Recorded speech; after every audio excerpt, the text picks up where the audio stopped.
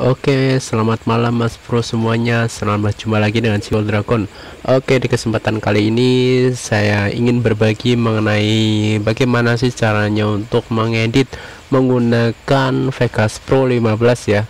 Karena saya biasanya mengedit video dengan Vegas Pro 15. Nah, gimana sih tutorialnya? Ayo, mari kita simak yang satu ini.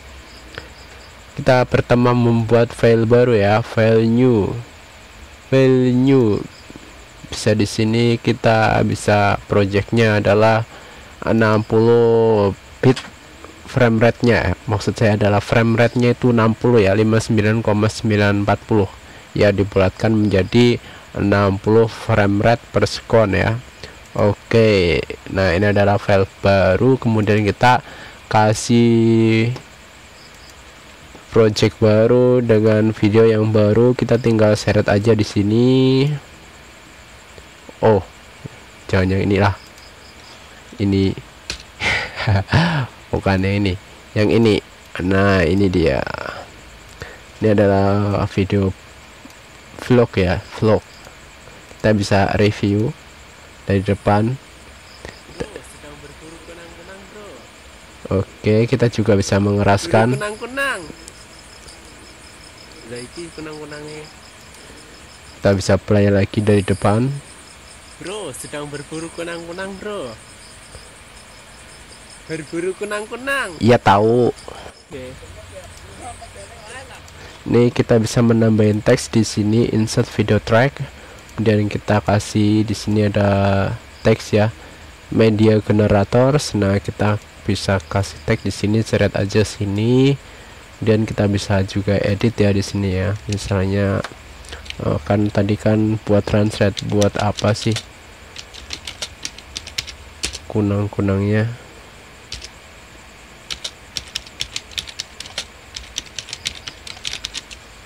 Nah kemudian kita size nya kita kurangin.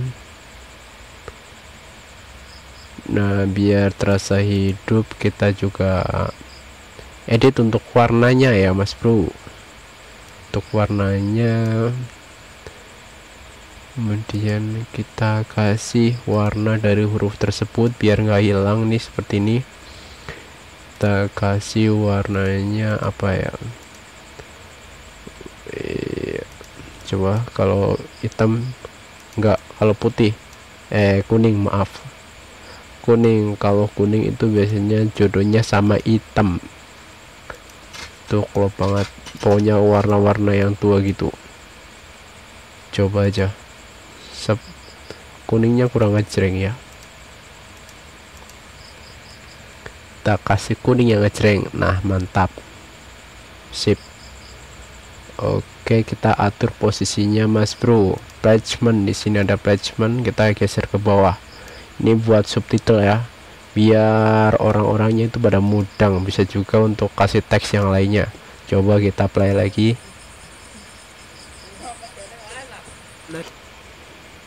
nah ini kita crop di sini karena tidak sesuai dengan kondisi dari play video ini ya. Oh ini dari sini kita pasin lagi. Nah kemudian kita crop kita buang sisi sebelah sini kemudian kita edit lagi kasih tanda tanya ya. N nah ada tanda tanyanya. Oke sudah kita play lagi.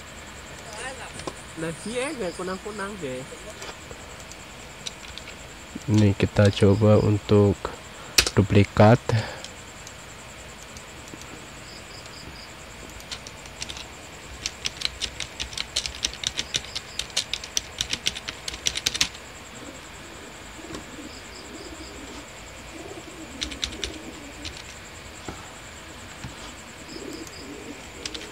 kita bisa save supaya file yang tadi kita buat itu enggak hilang ya. Kita beri nama kunang-kunang biar jos kemudian enter. Oke sip. Kita play lagi lain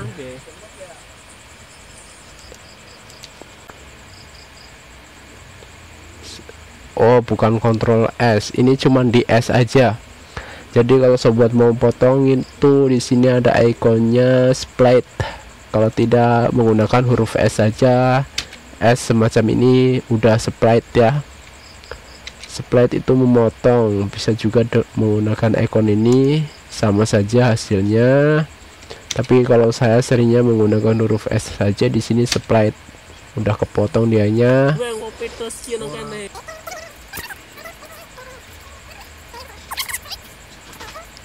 kemudian sobat bisa uh, mengatur durasi dari video ini ya.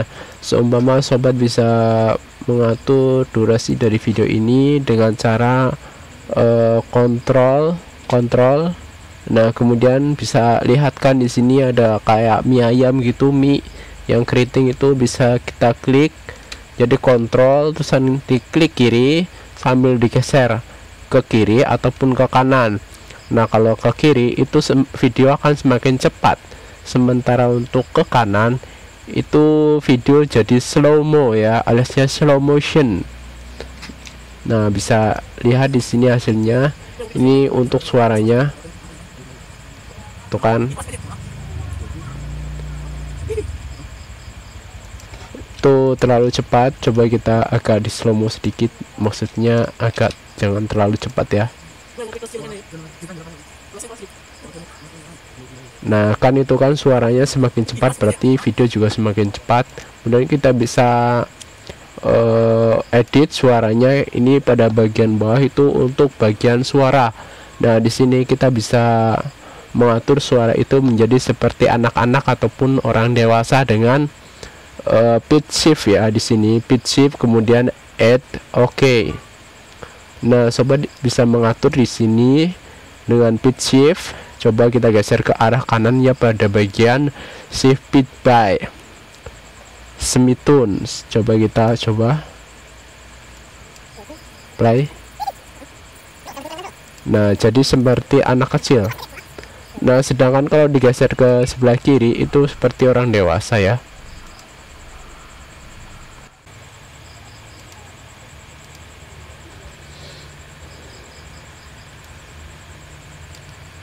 Oke, terus gimana sih caranya untuk menduplikat salah satu video ini ya? Jadi kita akan copy paste di sini. Di sini bisa langsung klik kanan. Kemudian di sini ada menu ya. Mana copy paste ini? Nah, ini copy. Kemudian di sini Kemudian di sini bisa klik kanan juga, kemudian paste. Nah, seperti ini udah jadi paste atau sobat bisa juga menggunakan Ctrl C alias copy. Kemudian di sini kita klik Ctrl V alias paste. Nah hasilnya juga sama. Sama-sama duplikat sebuah video ya. Jadi seperti ini. Kemudian kita bisa juga bisa juga menambahkan efek cepat ataupun lambat dengan time lapse ataupun slow mo itu gampang ya. Nah ini bro. Sumbang seperti ini. Kunang itu mirip kayak apa ya? Kayak kueci. Kueci. Kita play dulu. Nah coba kita untuk pada saat pertama itu pada saat video pertama itu kayak kayak kayak uh, blur-blur warna hitam gitu. Jadi kayak baru bangun tidur itu bisa mas bro kita bisa menggunakan di sini ini ada tombolnya warna biru. Kita bisa lebih jelas dengan mengeklik tombol plus ya di sini. Nah di sini kan ada efeknya itu tombol warna biru seperti seperempat lingkaran. Nah kita bisa geser ke kanan seperti ini nanti efeknya itu akan berbeda. Coba kita play dulu. Nah ini bro. Nah seperti ini Nah, jadi samar-samar nanti kontrasnya itu menyesuaikan dengan videonya. Nah, kemudian untuk sisi akhir video juga bisa ini kita tarik saja ke arah kiri. Nah, jadi kayak perlahan itu menggelap. Nah, jadi kayak kayak itu video sleep ataupun video tidur ya. Untuk audionya juga sama itu menggunakan efek dari biru-biru ini. Ini namanya adalah trim FNN jadi bisa langsung di drag seperti ini. Oh ini maksud saya set seperti ini. Jadi perlahan itu suaranya akan hilang secara perlahan. Coba kita play dari sini ya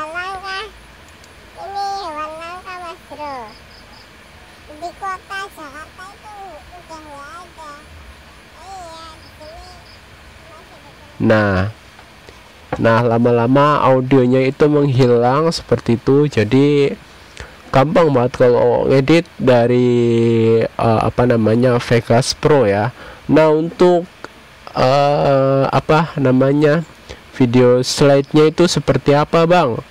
Bisa kalau video untuk slide-nya kita bisa bisa gunakan di sini kita spread aja menggunakan Ctrl S eh enggak menggunakan S saja di sini atau bisa juga menggunakan icon yang ini ya tadi ya sprite. Mana? Sprite. Nah ini dia. Sprite. Bisa juga menggunakan langsung S nah untuk video transisi ataupun kita bisa langsung menyeretnya seperti ini transisinya. Kita coba di sini untuk transisinya seperti apa efeknya ya ini terlalu dekat sih videonya sih. Seharusnya agak-agak jauhan dikit. Nah seperti ini. Kita nah seperti ini. Coba seperti apa transisinya?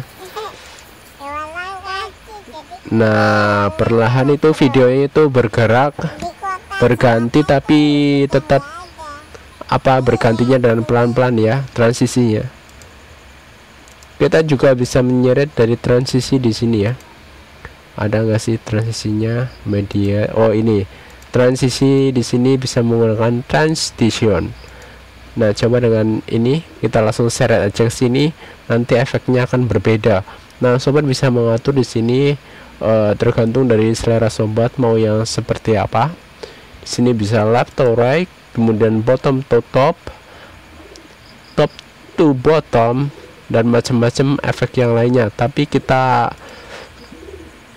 tapi kita coba untuk efek yang bawaan aja seperti apa dari sini kita ya. Nah seperti itu nanti efeknya. Bisa juga untuk efek yang lainnya tinggal menambahkan saja ataupun menyeret dari efek ini ya. Seperti ini. Coba kita seret ke sini aja. Nah kita tumpang di sini. Seperti apa jadinya? Kita play lagi bro. Nah jadi ada efek efek-efek flash gitu efek flash.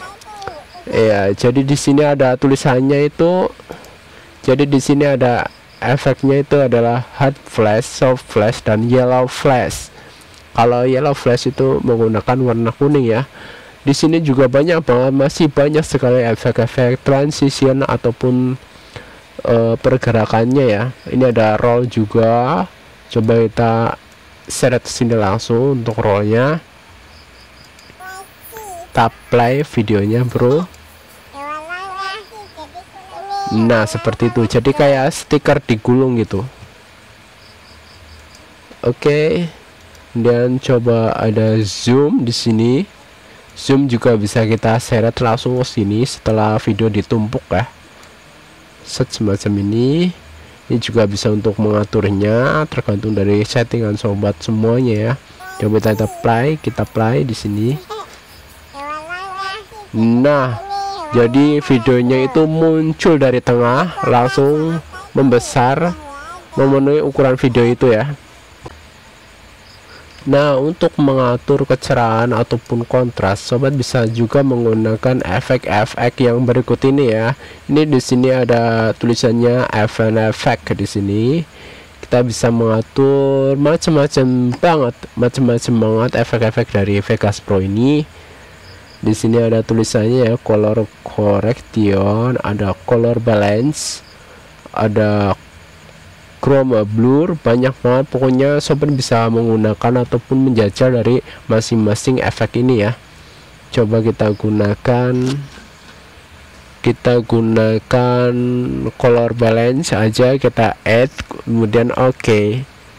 nah kita bisa lihat sisi yang sebelah sini ya ini adalah video yang kita edit di menu menu video efek ini ya. Kemudian kita coba red. Nah tarik seperti ini. Tangannya jadi merah seperti ini ya bro. Ini untuk green. Green itu hijau. Nah seperti ini jadi merah. Eh maaf jadi merah. Jadi hijau maksudnya. Dan untuk blue itu menjadi biru seperti ini. Jadi nanti sobat bisa menggunakan efek-efek ini untuk keperluan uh, video sobat di sini kan bisa diatur seperti ini. Jadi warnanya nanti lebih kontras untuk warnanya. Kalau sini itu semakin putih biasanya sih. Oh ya jadi bisa warna merahnya itu bisa disesuaikan ya seperti ini. Nah jadi tergantung gimana uh, apa namanya selera sobat untuk semuanya di sini juga bisa untuk green. Green seperti ini. Blue. Di sini ada efeknya lagi banyak banget shadow ada shadownya. Nah shadow itu untuk semuanya ya nggak cuman itu doang shadow.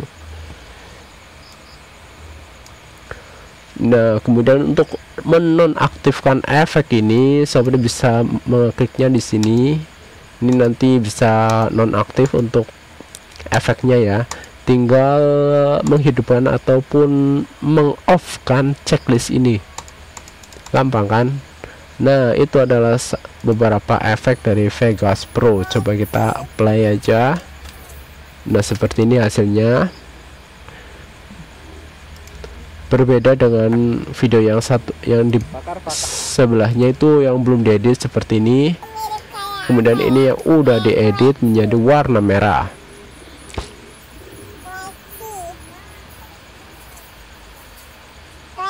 Jadi kunang-kunang itu kayak buah matahari. Ini termasuk hewan yang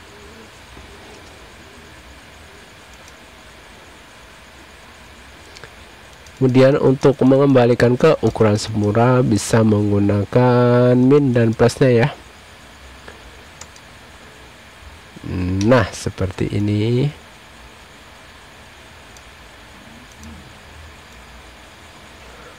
Untuk mengatur panjang atau enggaknya maksud saya adalah untuk mengatur panjang suatu video sobat bisa bisa melihat pada sisi sebelah kiri pada timenya ini ya.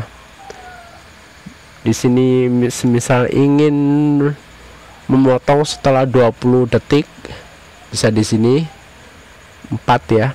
Ini kan 24 jadinya 44 nah jadinya 44 bisa di sini. Nah kita bisa potong di sini. Itu menjadi 44 oke se oke segitu aja mas bro udah kunang-kunangnya udah pergi mas. Nah sedangkan untuk yang biru ini kita bisa mengatur kontras ataupun ataupun volume dari video tersebut ya. Jadi kita bisa mengatur volume dari video tersebut. Kita bisa menggeser ke arah bawah dengan cara ini sobat bisa menggelapkan suatu video. Semacam ini jadi semakin gelap bisa lihat Bila ditarik ke bawah lagi akan semakin gelap, bahkan tidak kelihatan. Jadi kalau semakin ke bawah itu semakin nggak kelihatan. Begitu juga untuk audionya bisa diseret ke bawah dan kalau ditarik ke bawah itu semakin nggak kedengaran aliasnya semakin silent mode. Seperti apa sih? Kita play. Nah seperti itu untuk tutorial Vegas Pro kali ini. Terima kasih sudah menyimak video terbaru dari Ciwa Dragon dan jangan lupa untuk subscribe-nya